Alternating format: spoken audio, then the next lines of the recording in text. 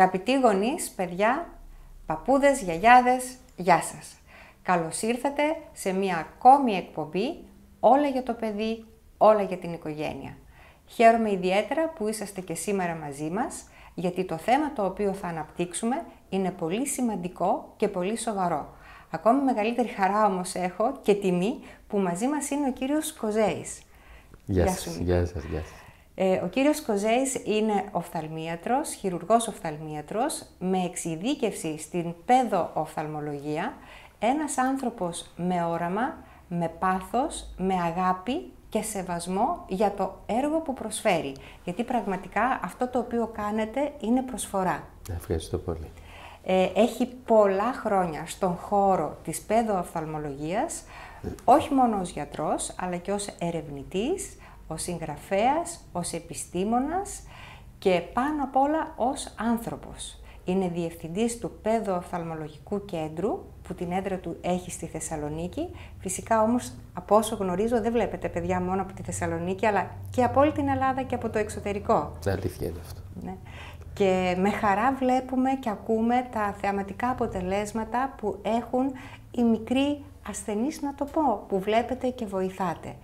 Κύριε Κοζέ, υπάρχει μία σύγχυση στους περισσότερους γονείς ότι εφόσον ένα παιδί δεν μας δίνει κάποια συμπτώματα ε, να μας βάλει έτσι σε έναν προβληματισμό ότι μπορεί να μην βλέπει καλά, ότι η πρώτη εξέταση που γίνεται κατά τη γέννησή του ότι είναι και αρκετή. Πράγματι ισχύει αυτό; Πρώτα απ' όλα να ευχαριστήσω πάρα πολύ για την πρόσκληση και είναι χαρά μου να βρίσκομαι με δημιουργικούς ανθρώπους σε δημιουργικούς χώρους και με παράλληλους βίους. Ε, πράγματι, ε, πολλοί γονείς θεωρούν ότι επειδή έγινε μια εξέταση ε, στο μεευτήριο, δεν χρειάζεται μετά να κάνει ή ίσως χρειαστεί όταν το παιδί πάει στο δημοτικό σχολείο. Με τον τρόπο αυτό χάνουμε κάποια πολύ σημαντικά χρόνια. Εκείνο το οποίο πρέπει να γνωρίζουν οι γονείς και οι οικογένειες είναι ότι η όραση είναι όπως οποιαδήποτε λειτουργία του σώματος, μια λειτουργία η οποία εξελίσσεται στο χρόνο. Ένα νεογέννητο παιδάκι βλέπει πάρα πολύ θολά, μιας και το οπτικό σύστημα για να δουλέψει χρειάζεται να υπάρχει φως που λείπει στην κοιλιά της μαμάς. Άρα η όραση ξεκινάει και χτίζεται στα πρώτα χρόνια της ζωής. Σήμερα πιστεύουμε ότι ενηλικιώνεται οπτικά ένα παιδί περίπου στα 9 του χρόνια. Άρα ιδιαίτερα τα πρώτα έξι χρόνια, είναι πάρα πολύ σημαντικά και θεμελιώδη. Είναι η πρίκα που στα 100 χρόνια που θα ζήσουν γερά να είναι τα παιδάκια, θα έχουν αυτή την όραση ως οδηγό. Και είναι πάρα πολύ σημαντικό να είναι καλά χτισμένοι, ε, για το λόγο ότι αν αναλογιστεί κανείς την καθημερινότητά του, διαπιστώνει ότι σχεδόν τα πάντα είναι οπτικά καθοδηγούμενα ακόμα περισσότερο στις μέρες και στο σύγχρονο κόσμο που θα ζήσουν, που ζουν και θα ζήσουν τα παιδιά, που έχει μεταξελιχθεί σε ένα ψηφιακό κόσμο, οπτικό κόσμο. Άρα είναι ιδιαίτερα σημαντικό να ελέγχουμε και να διαπιστώνουμε ή αν χρειάζεται να παρεμβαίνουμε, ώστε να εξασφαλίσουμε στα παιδιά αυτά μια πολύ καλή όραση για το υπόλοιπο της ζωής τους. Άρα η απάντηση είναι ότι πρέπει, ιδιαίτερα στα προσχολικά χρόνια μετά το μευτήριο, εκεί βλέπουμε μόνο αν υπάρχουν κάποιες δομικές βλάβες, για να προετοιμαστούμε να τις αντιμετωπίσουμε πολύ πρώιμα, ε, αλλά στα επόμενα χρόνια βλέπουμε αν υπάρχει κάποια δυσλειτουργία του οπτικού συστήματος, αλλά και παράλληλα πόσο αυτή η δυσλειτουργία επηρεάζει τους υπόλοιπους τομείς ανάπτυξης ένα 85% των πληροφοριών που φτάνουν στον εγκέφαλο από τον έξω κόσμο μέσα από τις αισθήσεις είναι οπτικές, δηλαδή είναι εικόνες. Και βάσει αυτές τις εικόνες οργανώνει τις συμπεριφορές και τις δεξιότητές του ή τις αναπτύσσει τις δεξιότητές του ένα παιδί. Πώς θα ισορροπήσει, πώς θα κινηθεί στο χώρο, πώς θα συντονίσει το σώμα του και τα χεράκια του στο να πιάνει το μολύβι τα παιχνίδια του, πώς θα κάνει ποδήλατο. Αναλογιστείτε λοιπόν ένα παιδάκι που έχει ένα έλλειμμα στην οπτική του λειτουργία, θα πρέπει ε, αυτό το μεγάλο έλλειμμα να το συμπληρώσει με τις υπόλοιπες αισθήσεις που δεν φτάνουν. Και χρειάζονται βέβαια και εκπαίδευση. Γι' αυτό είναι πάρα πολύ σημαντικό από νωρίς να τα εντοπίζουμε και να τα αντιμετωπίζουμε τα όποια προβλήματα. Σας ευχαριστούμε πάρα πολύ που μας δίνετε όλες αυτές τις πληροφορίες με τόσο απλό και κατανοητό τρόπο ε, και η σκέψη μου πηγαίνει κυρία Κοζέη ότι δεν είναι τίποτε όπως πηγαίνουμε στον παιδίατρο μία φορά τον χρόνο να πηγαίνουμε και στον οφθαλμίατρο. Εδώ βέβαια ίσως θα πρέπει να σκεφτούμε ότι υπάρχουν κάποιοι γονείς που φοβούνται ή ε, αναρωτιούνται στο πώς θα γίνει μια εξέταση στα παιδιά, αφού ακόμη δεν έχουν μάθει να αναγνωρίζουν τα γράμματα και τους αριθμούς. Υπάρχει τρόπος σε ένα παιδί ενός, δύο, τριών ετών να γίνει με ασφάλεια η εξέταση; Ακριβώς. Το θέμα είναι, πράγματι οι γονείς αναρωτιούνται και έχουν δίκιο γιατί έχουν στο μυαλό τους την εξέταση που οι ίδιοι ε, έχουν την εμπειρία, την εξέταση του ενηλίκου που κάθεσαι στην καρέκλα, σου βάζει ο του ο συνάδελφος να δεις κάποια γράμματα, αριθμούς κτλ. Τίποτα από όλα αυτά δεν ισχύουν. Αυτά είναι εξετάσεις που αφορούν στα μεγαλύτερα παιδιά και τις κάνουμε. Για τα μικρότερα παιδιά που είναι και μια ομάδα πρόκληση, ε, λέμε πολλές φορές στους γονείς ότι ο ενήλικας έχει ένα πράγμα φυσιολογικό. Λέμε αυτή είναι η φυσιολογική όρασή σου, ενώ τα παιδιά έχουν πολλές φυσιολογικές οράσεις. Δηλαδή, ανάλογα με την ηλικία του.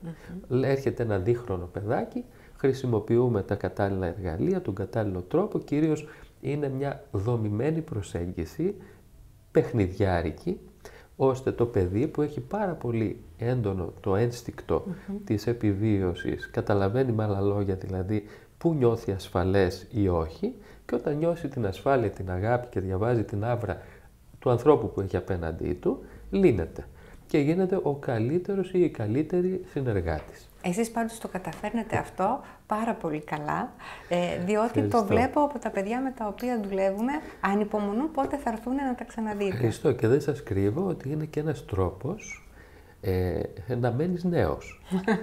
Οπότε συναναστρέφεσαι με νέους ανθρώπους.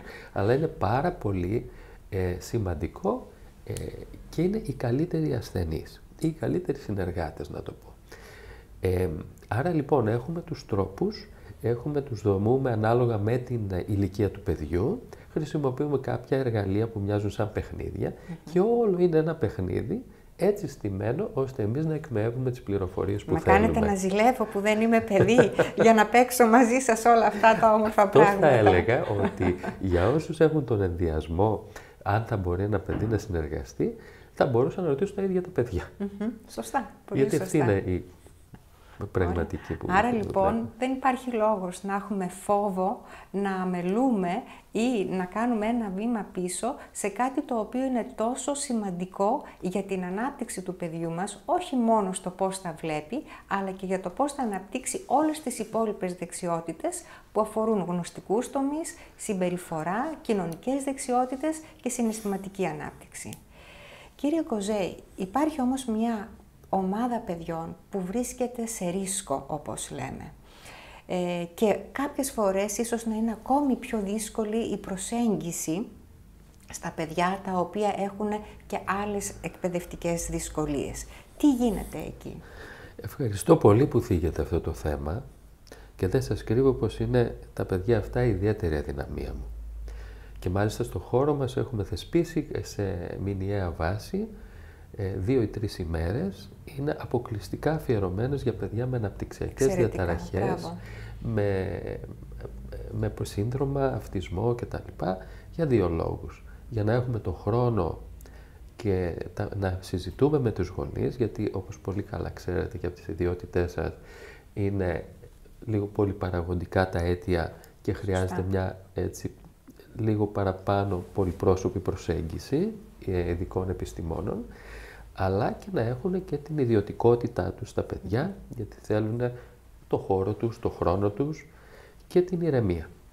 Ε, πράγματι υπάρχουν ομάδες που θα πρέπει να είμαστε ε, υποψιασμένοι και να επιδιώκουμε τις ε, προληπτικές εξετάσεις. Γιατί υπάρχουν προβλήματα τα οποία φαίνονται, όπως για παράδειγμα ένας στραβισμός που κινητοποιεί τους γονείς να πάνε να ψάξουν, να ρωτήσουν τον παιδό οφθαλμίατρο και να βρουν την αιτία και να την αντιμετωπίσει ο γιατρός.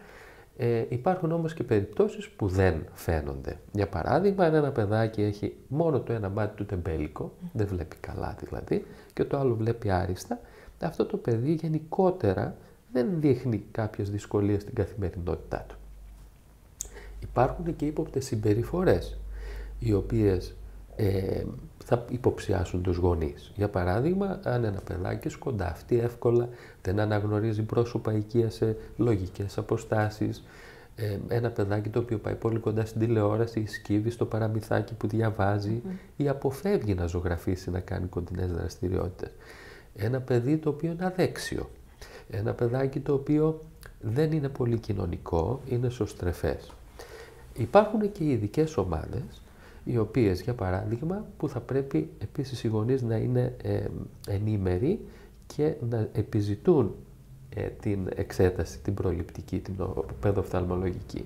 Όπως παιδιά που οι γονείς φοράνε γυαλιά ή τα αδερφάκια τους. Σωστά. Ε, παιδάκια τα οποία γεννήθηκαν πάρα πολύ πρόωρα. Και αυτά έχουν υψηλό ε, δίκτυ ε, προβλημάτων από τα μάτια. Από μικρές ηλικίες εννοώ ε, παιδάκια τα οποία έχουν αναπτυξιακές διαταραχές, σύνδρομα, αυτισμό και άλλες αναπτυξιακές διαταραχές. Οι μελέτες και οι δικές μας αλλά και ε, οι διεθνείς δείχνουν ότι υπάρχει τεράστια διαφορά, ε, για παράδειγμα στον κοινό τυπικό παιδιατρικό πληθυσμό, τα προβλήματα στα μάτια και στην όρεξη στις προσχολικές ηλικίες είναι περίπου στο 4%, ενώ στα παιδάκια με αναπτυξιακές διαταραχές είναι πάνω από 50%. Μεγάλη διαφορά. Μεγάλη Τεράστια, και ναι. μεγάλη αξία να το εντοπίσεις, να τα αντιμετωπίσεις, γιατί όπως προείπαμε, ε, αποτελεί η όρεξη έναν πολύ σημαντικό μοχλό να βοηθηθούν και τα υπόλοιπα πεδία ψυχοκινητικής ανάπτυξης ενός παιδιού. Και σκέφτομαι πάνω σε αυτό που λέτε ότι ε, όταν υπάρχουν ελλείμματα στην όραση, όλα τα υπόλοιπα συστήματα έρχονται να ε, αντισταθμίσουν κατά κάποιον τρόπο αυτό το κενό, όχι όμως με απόλυτη επιτυχία. Φανταστεί, φαντάζομαι λοιπόν ότι σε παιδιά τα οποία έχουν ακόμη μεγαλύτερες ανάγκες, τα άλλα συστήματα είναι ακόμη πιο δύσκολο να καλύψουν αυτό το κενό, γιατί υπάρχει έτσι μια ε, μεγαλύτερη, ας το πούμε, δυσκολία ε, στο πώς κανείς θα επεξεργαστεί, επεξεργαστεί τα ερεθίσματα που παίρνει από το περιβάλλον. Ε, ευχαριστούμε πάρα πολύ για όλα αυτά τα σημαντικά που μας λέτε.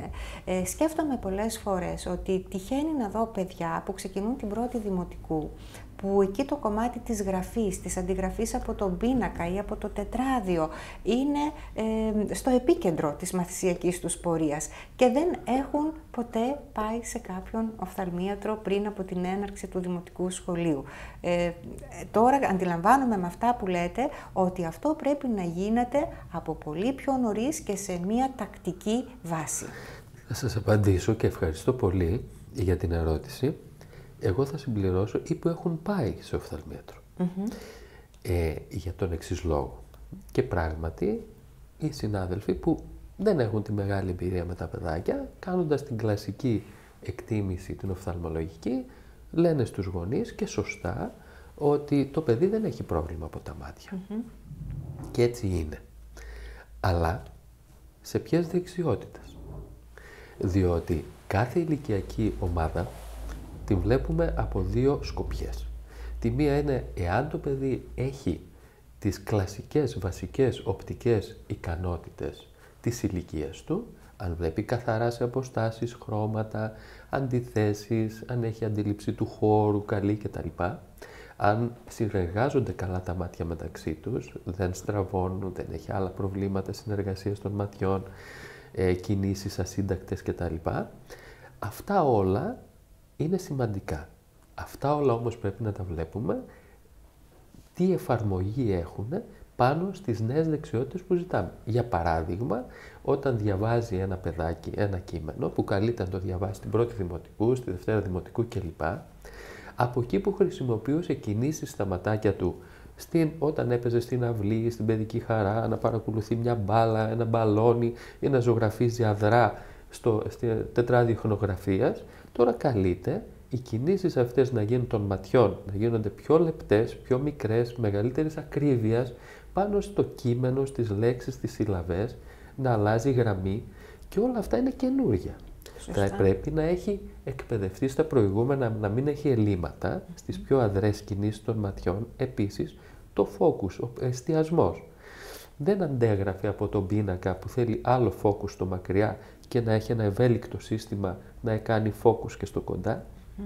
Όλα αυτά είναι καινούρια. Άρα λοιπόν αναρωτιόμαστε εμείς οι παιδοοφθαλμίατροι, πέρα από την κλασική εξέταση την οφθαλμολογική, σε αυτές τις ειδικές δεξιότητες τις οπτικές είναι έτοιμο το παιδί; Εμείς το ονομάζουμε στο χώρο μας σχολική ετοιμότητα. Δηλαδή αν το παιδί οφθαλμολογικά και οπτικά είναι έτοιμο για το σχόλιο. Και αυτό μια απλή οφθαλμολογική εξέταση δεν το εξασφαλίζει γιατί δεν ελέγχονται αυτοί οι ιδιαίτερες δεξιότητες. Mm -hmm. Ή της αντιγραφής από τον πίνακα ή από το τετράδιο ή η, η κίνηση, η αρμονική των ματιών επάνω στο κείμενο. Και εκεί φαίνονται τα ελλείμματα. Ενώ ένα παιδάκι, αν του ανάψεις λαμπάκια σε ένα πίνακα και μπορεί να τα παρακολουθεί. Αλλά οι ιδιαίτερες κινήσεις που κάνει πάνω στο κείμενο και το, ο εστιασμός εκεί ε, ελέγχεται με ειδικό τρόπο. Αυτό είναι καταπληκτικό και θα χαρούμε πάρα πολύ αν μπορέσετε να έρθετε ξανά στην εκπομπή μας και μας παρουσιάσετε αυτό τον εξειδικευμένο τρόπο που μπορεί να βοηθήσει τα παιδιά να είναι πιο έτοιμα στο, στο μεγάλο κεφάλαιο που ξεκινάει ουσιαστικά στην πρώτη δημοτικού. Με χαρά, γιατί βλέπουμε πολλά παιδιά ε, να έχουν δυσαναγνωσία ή και δυσγραφία. Ε, αυτό δεν είναι οφθαλμολογικό πρόβλημα, ούτε είναι στο πεδίο το δικό μας. Αλλά εφόσον είναι δεξιότητες οι οποίες είναι οπτικά καθοδηγούμενες, θα πρέπει να λύσουμε πρώτα το θέμα, μήπως υπάρχει ένα οργανικό πρόβλημα. Για παράδειγμα, ένα παιδί με ίσια μάτια διαβάζει γρηγορότερα από ένα παιδί που έχει στραβά ματάκια ή έχει άλλα θέματα ή έχει ένα τεμπέλικο μάτι ή παίρνει κάποιες αντισταθμιστικές θέσεις στο κεφαλάκι του, στο σώμα του κτλ.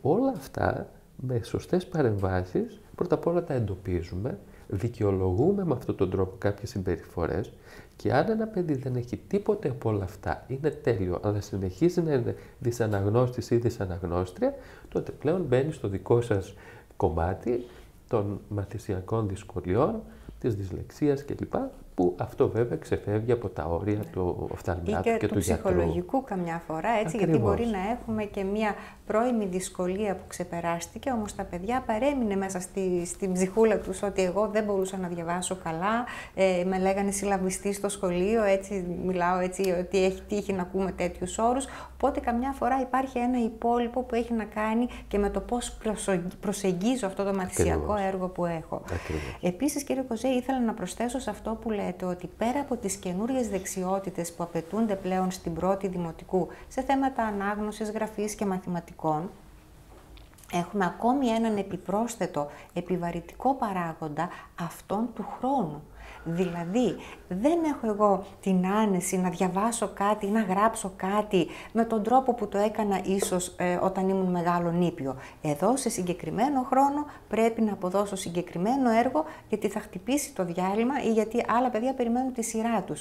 Οπότε αυτός είναι ένας επιπρόσθετος ε, επιβαρυντικός παράγοντας. Αυτό είναι αλήθεια και πολλές φορές έτσι με σκοπτικό τρόπο Λέμε εντάξει ρε παιδιά, και εγώ τα πήγαινα στο δημοτικό. Λέμε στους γονείς ότι την προπαίδη τη μάθαινε ως την Τετάρτη Πέμπτη δημοτικό. Τώρα τη μαθαίνουν ως την Δευτέρα δημοτικό. Και βλέπουμε και πολλούς γονείς μέσα στην προσπάθειά τους καλοπροαίρετα.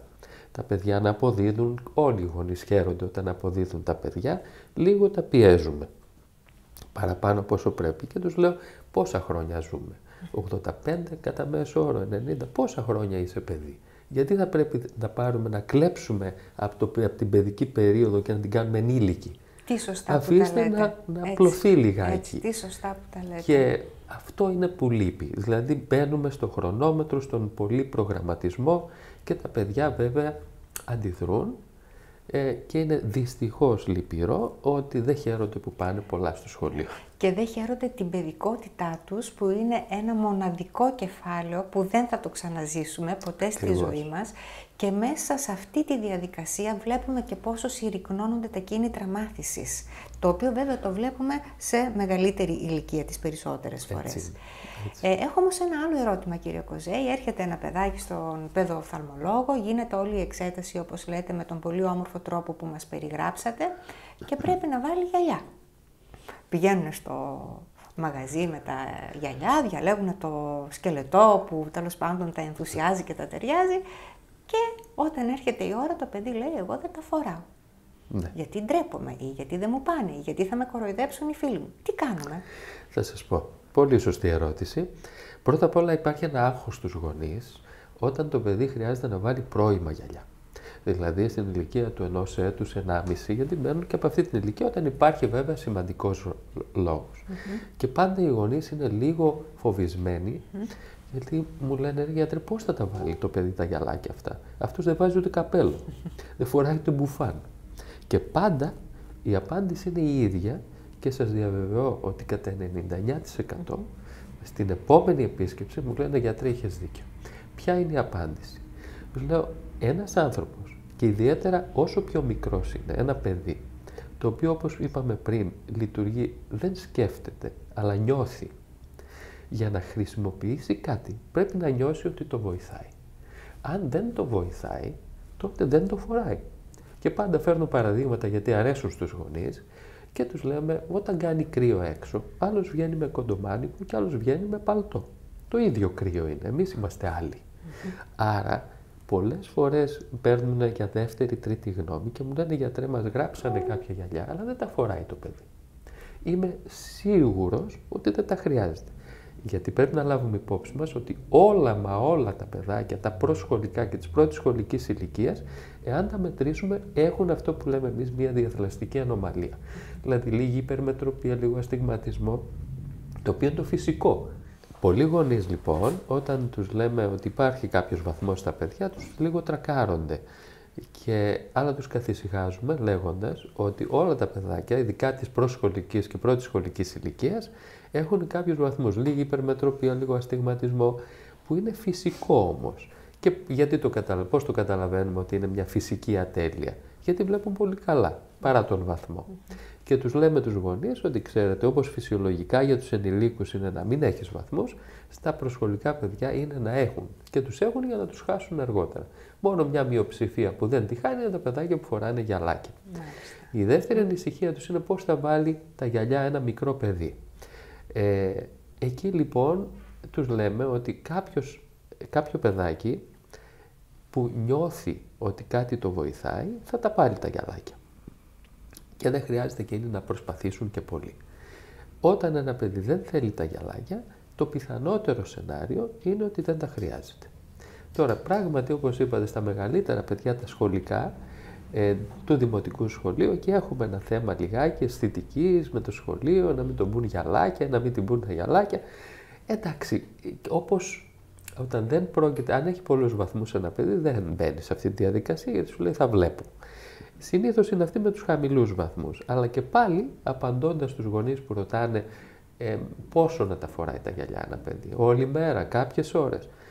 Εκεί πάλι η απάντηση είναι ήρεμη και στάνταρ που λες θα τα βάλεις στα γυαλάκια και σε λίγο θα σου δείξει το ίδιο το παιδί πόσο τα χρειάζεται. Τι ωραία που μας τα λέτε. Και έτσι είναι γιατί βλέπετε ακόμα και όταν είναι κρύος ο καιρός, άλλος βγαίνει με, κοντό, με κοντομάνικο και άλλος βγαίνει με παλτό. Δεν είμαστε οι ίδιοι, άρα κάνουμε ιατρική, η επιστήμη έχει τα guidelines και τις οδηγίες της, αλλά από την άλλη πλευρά κάνουμε και εξατομικευμένη προσέγγιση. Δηλαδή ο κάθε άνθρωπος και κάθε παιδί είναι διαφορετικός. Ευχαριστούμε πάρα πολύ ε, για όλα αυτά τα ωραία τα οποία ακούσαμε σήμερα. Ε, αν λοιπόν δεν κλείσετε το ραντεβού σας στον παιδοοφθαλμολόγο, μην το καθυστερείτε μετά από όλες αυτές τις ε, πληροφορίες που πήραμε. Θα ήταν όμως παράληψή μου αν έκλεινα τη σημερινή εκπομπή, χωρίς να δώσουμε λίγο χρόνο στον κύριο Κοζέη να μας μιλήσει για τις κοινωνικές δράσεις που οργανώνονται από, το ίδιο, από τον ίδιο και από το Παιδοοφθαλμολογικό Κέντρο. Ε, κύριε Κοζέη, όπως είπα στην αρχή, πέρα από εξαιρετικός επιστήμον ε, και γιατρός, είστε και ένας εξαιρετικός άνθρωπος. Θα θέλατε να μας πείτε τι ακριβώς κάνετε; Ευχαριστώ πάρα πολύ. Ε, για μένα είναι πιο σημαντικό να υπάρχει, επειδή η δουλειά μας είναι ανθρωποκεντρική. Και βέβαια, το αν υπάρχει ένα ψήγμα ανθρωποκεντρικής προσέγγισης, αυτό το οφείλουμε στο πρώτο μας σχολείο που είναι η οικογένεια και το σπίτι μας και στους γονείς. Πράγματι και οι συνεργάτες και ο Μιλών έχουμε ε, βασίσει τη δραστηριότητά μας πάνω σε τρεις πυλώνες. Και αυτό λέμε και σε κάθε νέο συνεργάτη που έρχεται στη δικιά μας επαγγελματική οικογένεια. Ότι εδώ πατάμε σε τρεις πυλώνες. Ο πρώτος πυλώνας είναι η επιστήμη, η, το επάγγελμα, γιατί από αυτό ζούμε. Και το τρίτο είναι η κοινωνική προσφορά. Πράγματι και διεθνώς ε, δραστηριοποιούμαστε στο να εκπαιδεύουμε ε, γιατρούς και στα, στον τρίτο κόσμο κτλ. Αλλά και in-house, στο δικό μας χώρο, που επειδή είμαστε ένα ε, επιστοποιημένο κέντρο διεθνώς για την μετεκπαίδευση ε, νέων οφθαλμιάτρων από διάφορα μέρη του κόσμου για κάποιο διάστημα μηνών έρχονται και εκπαιδεύονται μαζί μας και Ελληνόπουλα βέβαια, ε, στο να αποκτούν το know-how και στη δικιά μας δουλειά. Ε, όχι απλώ αφιλοκερδό, τους αμείβουμε κιόλας, γιατί εργάζονται κάποιοι από αυτούς. Ε, και κάτι άλλο είναι, επειδή βλέπουμε τις μεγάλες ανάγκες που υπάρχουν, κατά καιρούς λέγουμε δε, ε, χρησιμοποιημένους σκελετούς, αντί να τους πετάνε οι άνθρωποι, τους μαζεύουμε και με διεθνείς οργανισμούς, ε, συνήθως έχουμε μία επαφή με την ε, Ιεραποστολή, πηγαίνουν στην Αφρική για να καλύψουν κάποιες ανάγκες και θα σας φανεί παράξενο, αλλά το νούμερο ένα αίτιο ε, παιδικής οπτικής αναπηρίας, κυρίως βέβαια στον τρίτο κόσμο, είναι η μοιοπία και οι άλλες διαθλαστικές ανομαλίες. Δηλαδή τα παιδιά βλέπουν πάρα πολύ θολά επειδή δεν έχουν γυαλιά να βάλουν. Και ξέρετε, ο Παγκόσμιος Οργανισμός Υγείας έχει κάνει μελέτες και έχει δει ότι αυτά τα παιδιά που βλέπουν θολά έχουν πολύ μικρό προσδόκιμο ηλικίας. Γιατί ζουν στην Αφρική, ζουν στη ζούγκλα ή οτιδήποτε και δεν μπορούν να αντιληφθούν τους κινδύνους από ζώα ή από κάτι άλλο ή από φυσικές καταστροφές ή χαράδρεση, ε, τέτοιου είδους ε, επικίνδυνα μονοπάτια και σκοτώνονται. Ευχαριστούμε πάρα πολύ για αυτή την ενημέρωση. Ε, είμαι σίγουρη ότι όσους, όσοι ακούσατε αυτά που μας είπε ο κύριος Κοζέης ε, θα μπορέσετε και εσείς από τη δική σας την πλευρά να συνδράμετε και να βοηθήσετε τα παιδάκια τα οποία έχουν ανάγκη και μπορεί τόσο εύκολα να λυθεί αυτό το πρόβλημα. Ε, δεσμεύομαι ότι θα σας ξαναέχουμε στην εκπομπή μας. Με χαρά μου, με χαρά Σας ευχαριστώ πάρα πολύ. Και εγώ ευχαριστώ. Μου είστε ιδιαίτερα αγαπητός. Και, ε, και ελπίζω ότι και εσείς ε, μπορέσατε σήμερα να δώσετε πολλές απαντήσεις σε ερωτήματα που αφορούν τα μάτια και την όραση των παιδιών μας.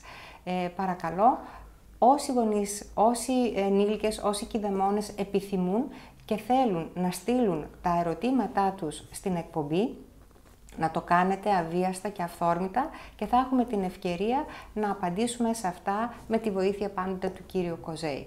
Σας ευχαριστώ για ακόμα μια φορά που ήσασταν μαζί μας στην εκπομπή «Όλα για το παιδί, όλα για την οικογένεια». Γεια σας!